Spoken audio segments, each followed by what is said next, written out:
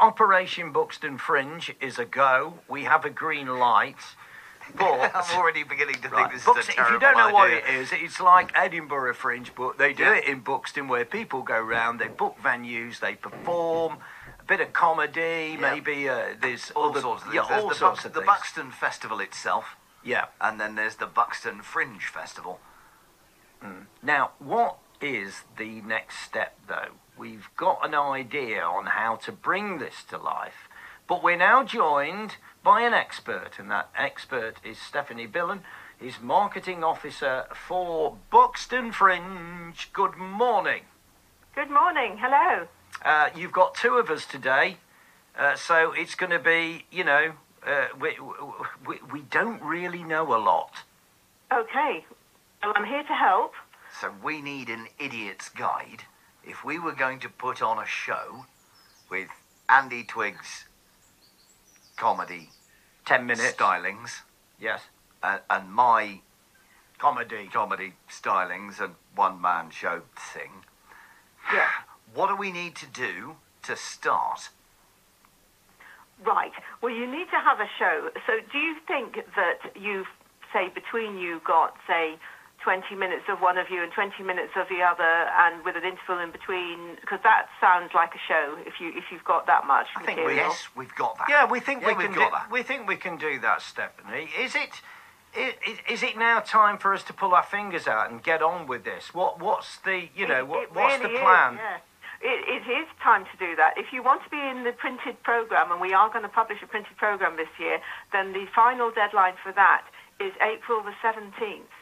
So you need to get Hang onto on. the That- website. Hang on. That's, whoa, whoa, that- whoa. That's, that's Sunday. That's right. Yeah, really, really soon. Good. Okay. Well, that's Okay, Stephanie. no panic. like But a radio Stephanie. deadline. um, Stephanie, to- I'm not doing it if my name is not in the program. That is my ego Okay. talking. Right, well, you've answered my next question. You definitely want your own show. You don't want to be part of somebody else's. You're going to go for it. So you need. So you've got your show, I imagine, and what you need to do is find a venue. So if you go on to www.buxtonfringe.org.uk and have a look at the Take Part ses- section, it'll tell you how to enter the Fringe online. But also, crucially, there's a venue list with lots of ideas of um, where you might perform. Now, we have managed venues, and I know the Underground is full and the Green Man is full.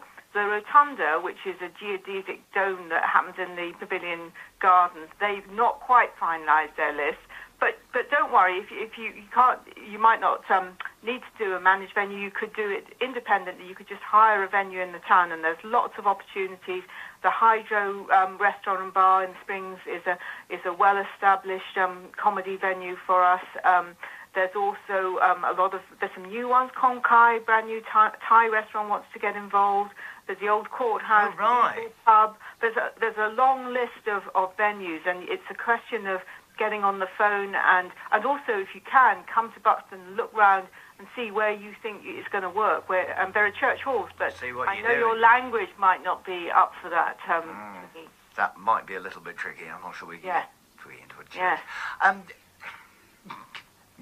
now I've I've set the challenge, you see, because Andy did his first uh, stand-up gig in front of a crowd of oh, About 20, 25 eager Yeah, people. the yeah, other 25. I've like suggested 20. that he really needs to get the full experience of stand-up comedy. He needs to be in front of at least three figures. oh, So- you so- said that, have you? So we need some something over a hundred. Okay, well, so the Tap House has got was a is a hundred. Fringe venues tend to be a bit small. Um, so, but the Rotunda, you know, if you is, that's a that's a big capacity. Um, I think you have to get a little bit realistic. You've got a lot of competition in the, in the Fringe, and, and um, there are a lot of shows going on at the time, and um, people don't always necessarily expect to get that many people in on a Fringe show. Stephanie Billen, don't you underestimate the comedic talents of Mr. Wesley Mallin and Mr. Andrew Charles Twig with an E. Also, realism and perspective are two things we simply don't do. Well, you need some blind optimism. That's often um, a very useful thing to have with the Fringe. And I'd also suggest you do more than one show because you want to do one show where you get a glowing review and then everyone flocks to your second show. Oh, I see. That's how it works, is it? Mm, I yes. These are the see. secrets we needed. Yeah, how popular is is this Buxton Fringe for anybody that's never been up and visited it? You know, and and how long's it been going? It's been going over 40 years. It's absolutely massive. Um, we get um, huge numbers of people um, because they're coming at the same. It comes at the same time as the Buxton International Festival, so it's a double whammy, and it's and it's it's a, one of the largest arts festivals in England, and it's and also what what often happens is that comedians try out their stuff and then they go up to Edinburgh. You know, we have people like Oh. Al Alistair Beckett King and um, you know Nathan Cassidy I and some very top level performers, as well as people who are trying out their stuff um, for the first time. So, it, it, in like a football analogy, it's like you're having a friendly before the big cup final. That's right. Yes, although we do want you to be very professional, both of you. Oh, I tell you what, have you have you not listened to this is show? my middle name.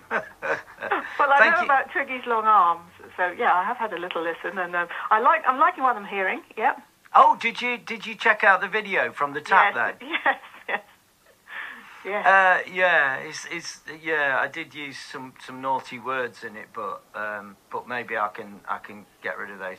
Um, Wesley, I think we need a road trip to Buxton. I think we need a road trip to Buxton Um, and expend some shoe leather, go round some venues. maybe you could meet us there, Stephanie, Absolutely. Yes. and then you can really you know show us round, and we'll you know we'll let you buy us a drink. Oh, I thought you were going to buy me a drink, but uh, Uh, you've not researched me properly, have you? You have not researched. Stephanie, I really appreciate your time this morning. Thank you ever so much for coming on. Stephanie Billen there, marketing officer for the Buxton Fringe. So it's on then, kiddo. We're on. What? We're What have we d- What have we done? I don't know. Terrible A idea. hundred people, which is bonkers.